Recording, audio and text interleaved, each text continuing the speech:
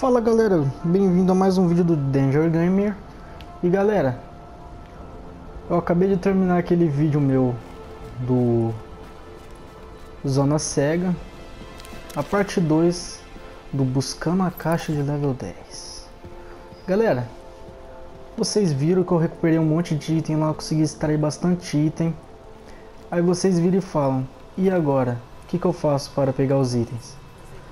Vocês vão vir no centro de operações aqui, galera. Deixa eu pegar um abastecimento aqui, que lá eu gastei muita coisa. Chegando aqui, galera, vai ter essa caixa aqui, ó. Estoque. Você abre o estoque e tá tudo aqui, galera. Tudo extraído aqui, ó. Todos os itens. Esses itens aqui são todos que eu peguei lá, galera. Esse daqui é um vídeo rapidinho que eu fiz só pra mostrar pra vocês, galera.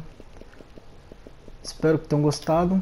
Dá aquele joinha, Compartilha para aquele seu amigo que não sabe.